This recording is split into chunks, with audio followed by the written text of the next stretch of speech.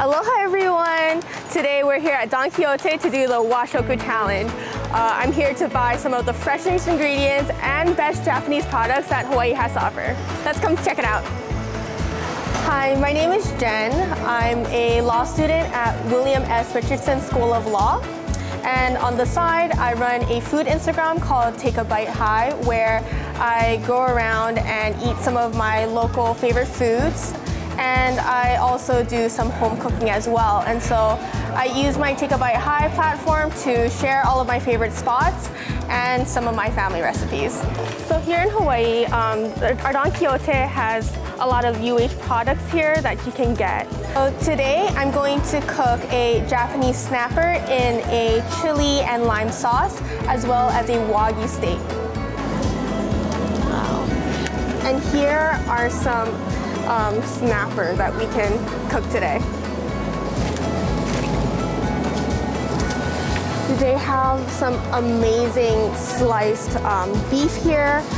Love eating this for yakiniku or shabu shabu sometimes. Here we have some of the best Japanese meat.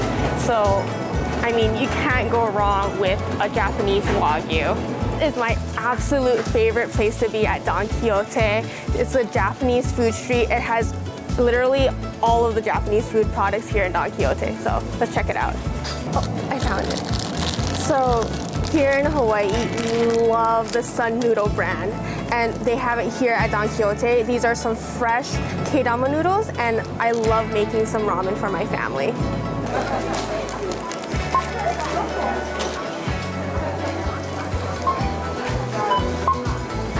Got everything I need at Don Quijote, so let's get to the kitchen and get cooking.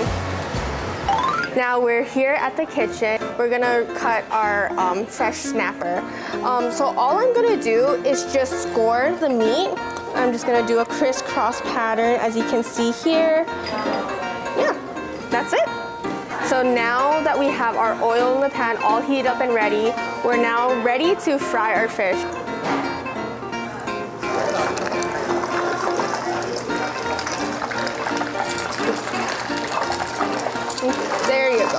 Wow, look at, oh, the fish is fried. it looks really good. And then put this right in here. Now that we deep fried our fish, we're going to prepare our sauce. So I'm going to put in garlic first. Yeah. Put in our garlic. And then we have our shallots red onions that we cut earlier, carrot, celery. And then I'm going to add this, add some sugar. And the last thing I'm gonna do is add the rest of our lime.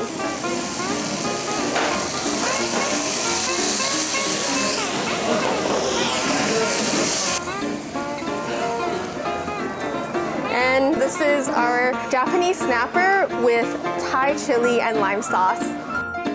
Up next, we're gonna do a very simple Wagyu steak. So I got this at Don Quijote and after seeing this beautiful marbling, I just had to get it. So the very first thing that we're gonna do is just simply salt and pepper. It's the first and last thing we're gonna do.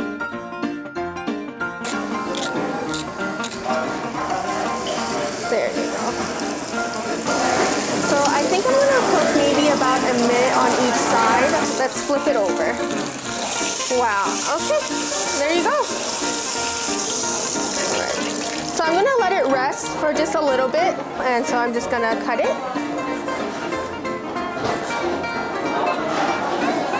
And that's it, our Wagyu steak is done. I made some Thai snapper um, using Chef Chai's recipe. Um, I made sure to deep fry the fish and I put on the lime and chili sauce on top. So let's take a bite and see how I did.